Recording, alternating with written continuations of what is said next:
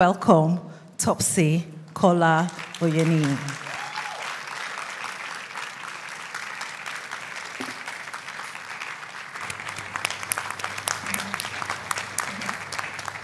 Thank you so much. Thank you so much, and good morning, everyone. Um, just making sure the mic is working. The presentation. Just checking a few quick logistics.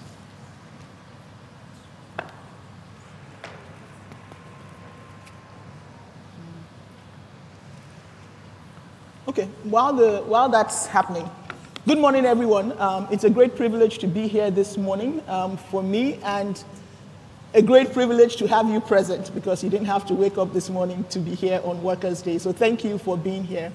Um, first of all, I would like to say a very big thank you um, to Pastor Poju and Pastor Tony for the privilege of being on this platform.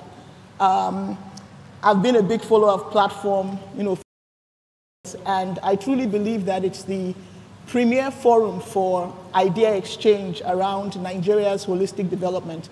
And I say holistic development because there are a number of different platforms where you can speak about economic development or policies but I think platform is unique because it considers um, Nigeria's development from a wide range of angles, everything from economic development to social change to values um, and to policy transformation. So it's, it's truly a great privilege. I think beyond that also, I am, I've been greatly blessed um, and I'm a great beneficiary of the ministry of Pastor Poju and Pastor Tony, and I'm really grateful um, to be here this morning.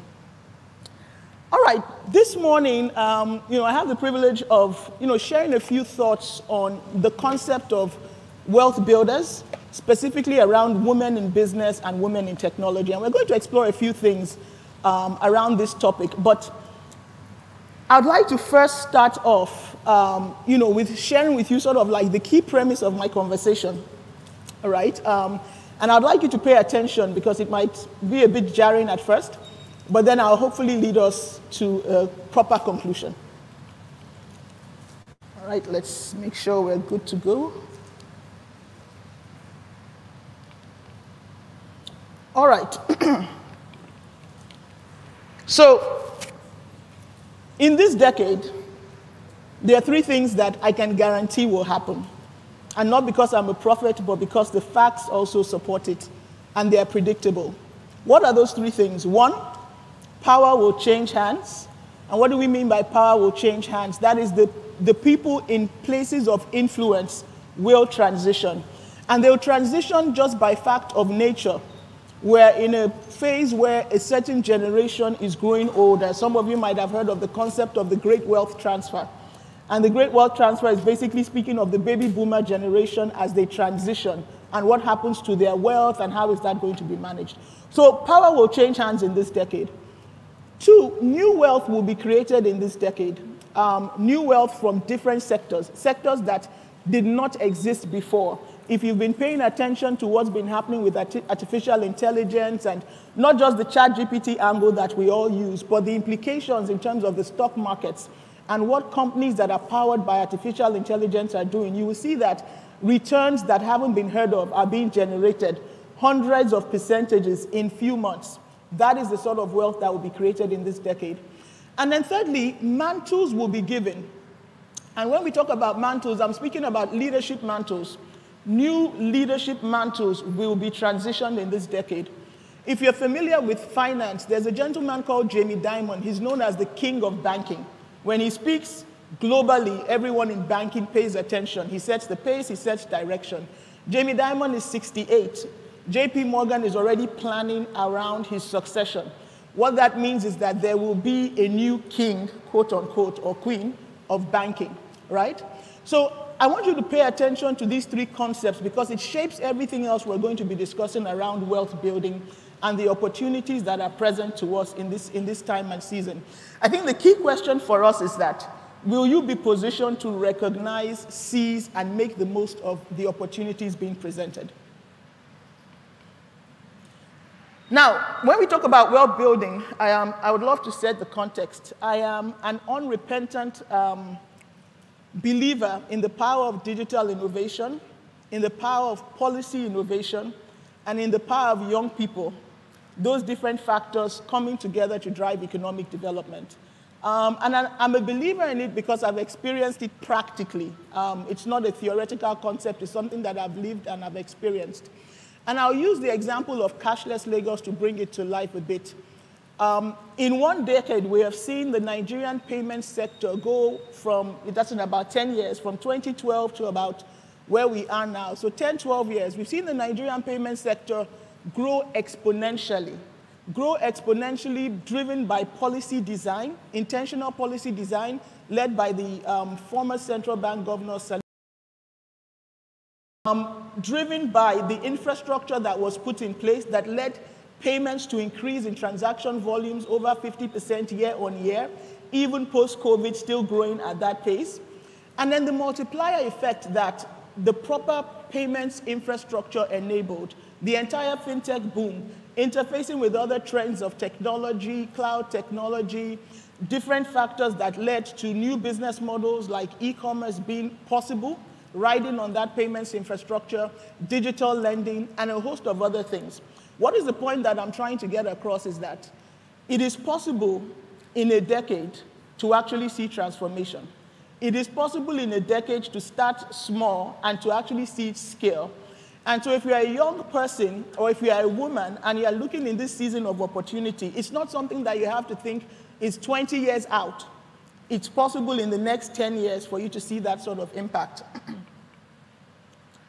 but let's start first with sort of the state of play.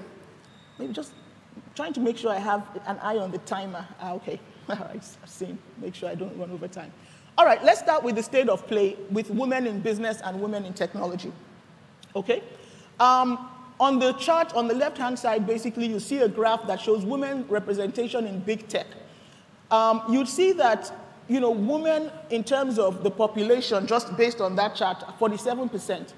But representation in big tech, and that's like all the big tech companies we know Amazon, Google, Facebook, these are all the guys that are setting the agenda for technology women representation in those institu institutions are on, women are underrepresented. I think that's the first thing. Apart from maybe Amazon, which you can see sort of like a good percentage of the workforce are women.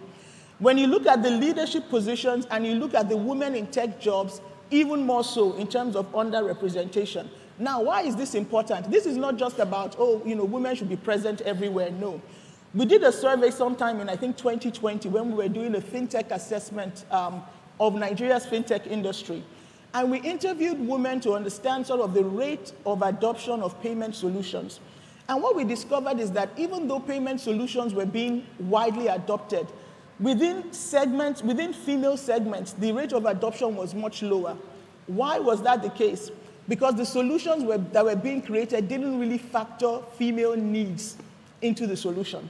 And this is why women need to be represented in technology where it counts to shape the type of solutions that will be relevant for women and that would ensure female digital inclusion. So that's the first thing. If you're, you know, if you're a woman in, the, in this place and you're thinking about technology and you have an interest, you should by all means get into that space. Not just in terms of managerial roles or just in terms of being in the business, but also in technology roles where you actually shape products and solutions that are relevant. Now, if we flip onto the side of women in business, the first thing to note is that in Africa and in Nigeria, the, the, the, trend holds the same. Majority of our businesses are SMEs, right? About 83% or so of the economy are made up of SMEs. And a significant portion of those SMEs are informal. Now, when you look at women in business, if we're talking about wealth building, it's not just about having women in business, but it's about having women in businesses that are driving innovation. What do I mean? On the chart, you see a figure of 51%. It's an illustration, but it's a figure from Uganda that says 51% of female owned businesses are necessity driven and not innovation driven. Necessity driven means that those businesses were set up to meet basic needs. Those businesses were set up as a means of necessity for taking care of the family or taking care of the woman or her children, and so on and so forth, and not around solving big problems or not around necessarily driving value creation.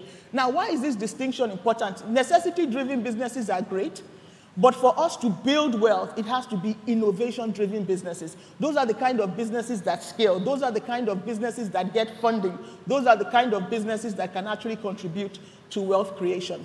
So when we look at our state of play, yes, we're in the space, we're in technology, yes, we're in business, but a lot of our businesses are still informal. A lot of our businesses are still focused on managing or meeting our own needs, and we need to shift into that realm of wealth creation by driving innovation.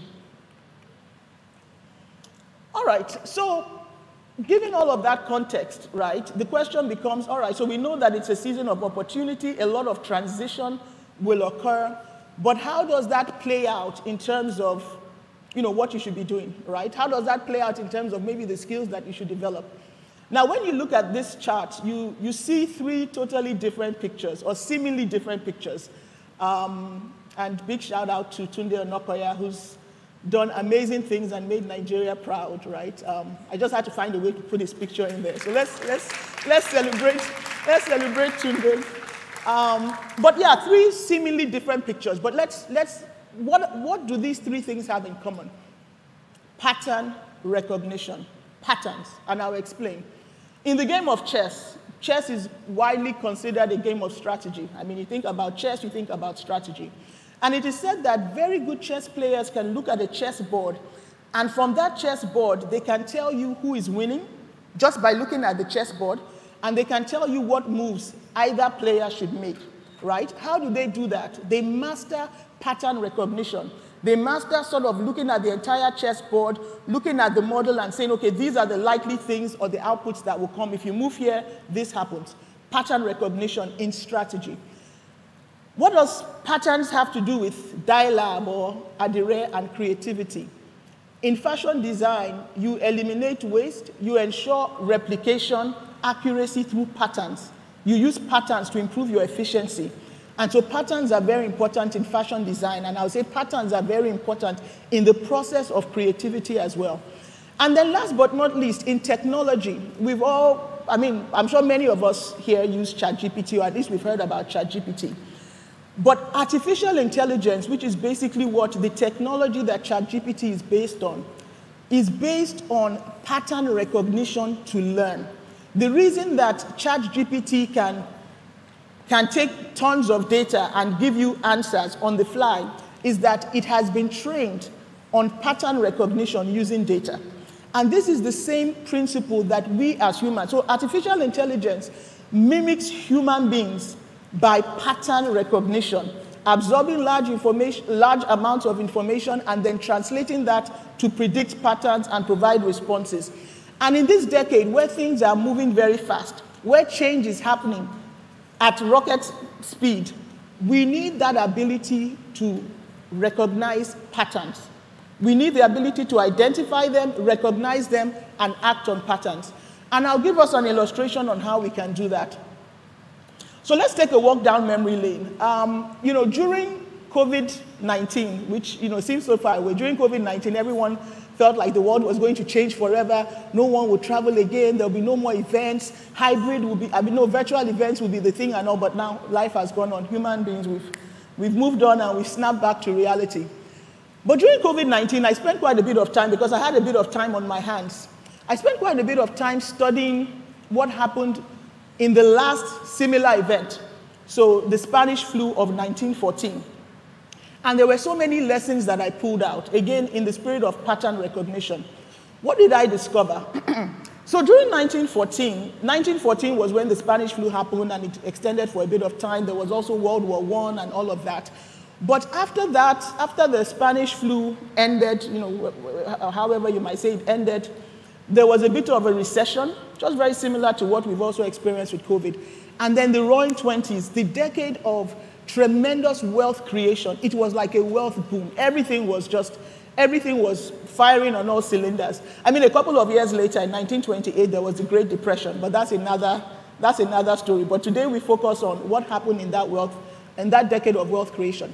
Now, what you discover was that there were three elements that were playing, um, three factors that were interplaying to create this um, um, um, this wealth boom, so to speak.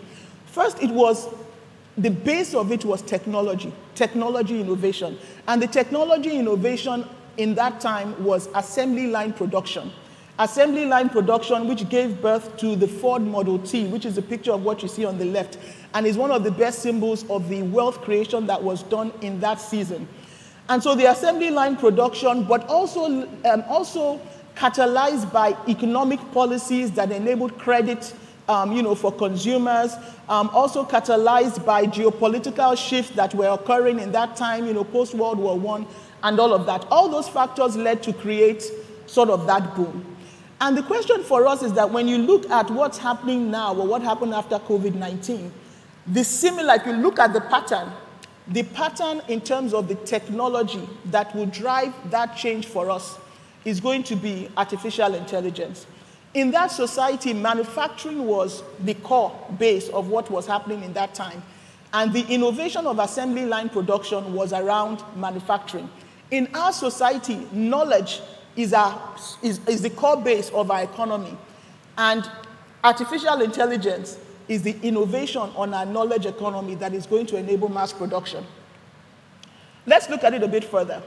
When you take what happened then in terms of this Ford Model T and what were the factors driving it, you see elements of technology, like I mentioned. The assembly line technology enabled cost of the car to go to like from 30% of what it cost to produce previously. That was one factor. Electricity was also another factor. You could call it technology, but the the um, um, scaling of electricity was also important because it enabled new electrical devices to be created. It created a market for devices that didn't exist before radios, fridge, things like that. And those things now had an impact on family life and living because now you could cook and store food in the fridge, and that created new flexibility also for women and for what women were able to do. Um, I mentioned things around purchasing power, mass advertising, which could be uh, um, um, a proxy for distribution, mass distribution. So today, our own mass distribution is the internet. Anywhere you set up, you're able to do business leveraging the internet, leveraging that form of communication. But the Ford Model T was not just the only story, it was the catalyst. It created a number of different businesses and spillovers from the Ford Model T, right? Um, it created, you know, parts, parts business. So now tires and all that needed to be created. Car dealerships were now created. Now that everyone could afford a car, people started making big investments in highway, highway construction. People could now live further out because, you know, there were, there were highways, they could afford a car, and so on and so forth. Hotels, tourism, all of these different things grew, right? So something catalyzed it, but it led to a spill off of so many other things. So now let's come back to where we are now, right? When we think about what we're discussing here today, wealth building, the first question that might be on your mind is where are the opportunities today? Okay? Now, I believe that Africa, and specifically Nigeria, we are rich in the elements of wealth production, but not wealth production from an economic standpoint per se. In economics, the factors of wealth production are things like land, capital, business, and all of that. But from the perspective of disruptive innovation, Nigeria and Africa at large were very, were very ripe for it. And what do I mean? One is, number one, we have a very young population. 40% of our population is under 15. Um, that's compared to 25% for the rest of the world on average, right? So you have a young population that will be willing to adopt digital solutions. By the way, they haven't really known, quote unquote, better. So if that's the way it's done, that's the new way that it's done. That's the first thing. The second thing is that in terms of gender parity, and gender parity speaks to the, um, the effort to ensure that women are, are placed on an equal footing in terms of opportunity and access across different areas of society as, as, as men. In terms of gender parity, because of where we rank now as a continent, where women, in terms of equality in society, don't have a great standing, there is potential in terms of GDP uplift of about 10% or so if we're able to improve that. So, from that sense as well, from getting women more economically involved in driving businesses, in creating value, we actually have a spillover effect on the economy itself. And then, third, last but not least, is that we are first or second unfortunately, from the bottom. You know, we're first or second from the bottom in every sector on this continent from a productivity level. What that means is that there's significant opportunity everywhere to drive innovation, to drive improvement, right? And so these different factors actually create um, an opportunity for significant innovation across board. So that's the first thing for us to recognize around the opportunities. Now, how do you search for these opportunities? And this is more for illustration. It's not exhaustive, it's not, but it's just to share sort of the concept of how you start saying, okay, given that we know we're in the season of opportunity, how do I start to identify where some of these opportunities might fall? And there are a couple of different dimensions you consider. And when you consider those dimensions, you map out what are the trends that you are seeing. But not just the trends or just the events. You then have to spend time to reflect to say what could be the implications of these trends. I think it was last year or the year before during the Ukraine Russia conflict that you know, we didn't think was part of our concern, but we realized that grains and the cost of bread in Nigeria was impacted by you know, what was happening in Ukraine, right? So you take each of these areas, you look at geopolitics, what's happening, Israel and Hamas war, how does that impact, um, how does that impact supply chain disruptions? Um, US and China having tensions, what does that mean? What is my backup strategy for my business in terms of my supply chain strategy? Or maybe I'm receiving funding from the US government because I do donor-based work, and the US government is having you know, um, rifts with China. How does that affect what I do? So it's that process of thinking through what are these different things and how do I position? Environment is another area that's extremely important. And it's one area where there's also a lot of opportunity. Um, you know, we've seen, for example, what has happened this year, even in our own space with, with, with the climate change, right? I mean, if you didn't believe in climate change before and you've been in Lagos, I don't know how it is in the rest of Nigeria at the moment, but the level of heat this year does not have part two. Do you understand? And some of those things have implications on farming. It has implications on food production. I mean, the, the president initially um, had declared a food state of emergency. That's serious business. So then the question you ask yourself is that this climate thing is not going away. What if it gets worse next year? What does that mean in terms of the prospects in the agricultural value chain? Okay, agriculture is going to be very important. Where do I play in that value chain? And those are the kind of questions that we need to be asking ourselves. Um, Now, I truly believe that women are uniquely positioned in this time of opportunity. And if, if this is the only thing you get out of it, please get it because, you know, everything happens in times and seasons. Seasons do not last forever, they flip. There's a new flavor of the month. Things change, priorities change. For example, after COVID, a lot of the donor funding shifted to healthcare because that was their priority, right? So things change. But at this particular time, I believe women are uniquely positioned on two dimensions. We're uniquely positioned as beneficiaries of some of these changes and some of these policies, and we're also uniquely positioned to drive some of these things, and I'll explain. So on the first dimension, we have the sustainable development goals, and we have, you know, the whole discussions around diversity, equity, and inclusion, right? These are things that we have to take advantage of. The entire world is focused, even if it's just for lip service. People have to think through their diversity and their you know, equality strategy and all of the rest, right? People have to think about, okay, what program do I have that supports women, right? I hope you know that because of the whole emphasis on sustainability and ESG, ESG, environmental sustainability goals, there's a lot of finance that's linked to your ability to demonstrate that you are actually um, embedding these sustainability principles.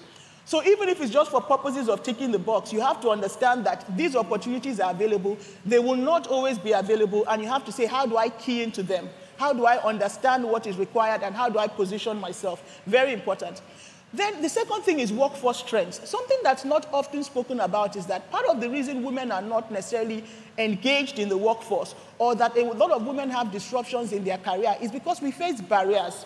And depending on you know, your situation and the support structure you have, you might have to choose between whether you should work or whether you should take care of your children. You know, and it might be about the economics. Listen, how much am I getting from this job? I have to pay someone by the time I get back, and so many other logistics. Those are some of the things that, that restrict us from participating in the economy. But the workforce trends are in our favor. The tide of trends are, are in our favor. Why? Number one, flexibility. The whole thing, if COVID, if that's all COVID left us, this concept of flexibility is extremely important. Now people expect that, listen, there should be some form of flexible work. People know that, listen, you don't necessarily need somebody in the office to get work done. So flexibility is in our favor. But the other thing that's also in our favor, because I also believe that women need to play to their strengths. You know, I've been a woman that I've typically now I'm older, so I'm no longer the, the youngest in the, ro- the room. But I was typically the youngest in the room. I was typically the only female or one of few females, right? But one thing that I feel like most women have as a natural gift is the ability to collaborate. You know, this issue of ego is not as prominent in, in women, right? And that is a skill that's required now. A skill that's required to bring people together, to drive alignment and all the rest. So I feel that as women, we should leverage on these trends not to act like what we are not, but to play to our own strengths, to be fully woman in your own space and leverage on, on your strengths. And then last but not least is growth sectors. And what do I mean by growth sectors? There are some sectors that are positioned to um, benefit significantly from new technologies, from technological innovation. Healthcare is one, right? Especially in a country like Nigeria or in most of Africa where we don't have an existing healthcare infrastructure. The ability to leverage digital, the ability to leverage artificial intelligence to provide healthcare service will be sort of almost like a leapfrog. You know how we didn't have fixed wireline phones and we had to innovate on mobile. It's the same way in healthcare and in education. We're going to have to innovate leveraging new technologies. But that provides an opportunity for women, one, because those are the sectors that impact women negatively the most. So in healthcare, you have things like maternal, um, um, maternal deaths and mortality rates. You have, you know, um, planning, um, um, family planning, and things like that that impact not just the woman and her ability to engage, but also in terms of impacting the overall economy and our productivity levels when we can't control our population growth. And education, girl, child education, right? The constraints around that perhaps could be managed by technology. So, number one, in these sectors, we're present. Number two, in these sectors, we're impacted. And number three, these sectors also allow us, also remove some of the barriers that allow us to participate. So what is my message here is that, you know, we are uniquely positioned. We will not be uniquely positioned forever. We need to take advantage of these opportunities and build on it. Okay. Oops. All right. So in closing, as I, as I wrap up, um, I want to summarize my perspective on wealth building and wealth creation. I think wealth building, you know, wealth building is, is very different from creating personal wealth for yourself. You can create personal wealth for yourself. But when we talk about wealth building, according to the theme of this conference, it's not about what you and your family can manage. It's about creating national wealth. It's about creating skill. It's about adding value.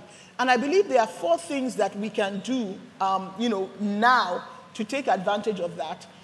We need to activate and incentivize and encourage female participation. Because when we have more women participating in the economy, we actually increase our productivity, we reduce our, um, our, birth rates and things like that. So that's one. Two is that we need the right policy enablers. I shared what I started with around cashless because of what I have seen in a short time by right policy facilitating change and driving change in, in, in, in our economy.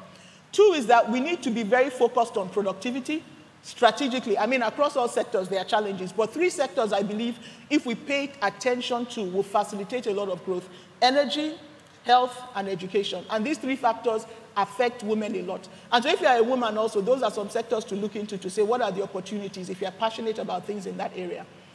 And then lastly, we need to think about market creating innovations. And market creating innovations is really about how do we how do we create solutions that are affordable and accessible that turn people who are non-consumers into consumers. That is, they are non-consumers not because they don't want the solution, but because they can't afford it. And for example, that is the challenge we face today with solar energy. Solar energy, great innovation. We, could, we don't even have power in Nigeria, and it's a real challenge. And now we're going into band A and band B and C and D, right? So solar energy is a great opportunity, but it has not yet been constructed in a way that makes it affordable for people to become consumers. So, as I wrap up, I wanted to leave you with some questions. Number one, what shifts are you seeing? Number two, what are the patterns that are emerging? And then number three, what will you do about it? And I have a few thoughts on what you can do about it. I think number one, you need to prepare. If that's the only thing that I can get across, is that you need to prepare. Opportunities are coming, you need to prepare. Number two is you need to um, acquire knowledge or skills in your area of interest. And generally speaking, you need to develop your pattern recognition skills. So that's something that, that we spoke about. Thirdly, you need to um, double down on a shift. Pick a shift.